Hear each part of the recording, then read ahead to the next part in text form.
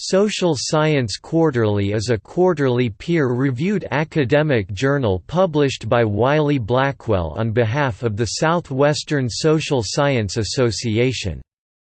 The journal covers political science, sociology, economics, history, social work, geography, international studies, and women's studies.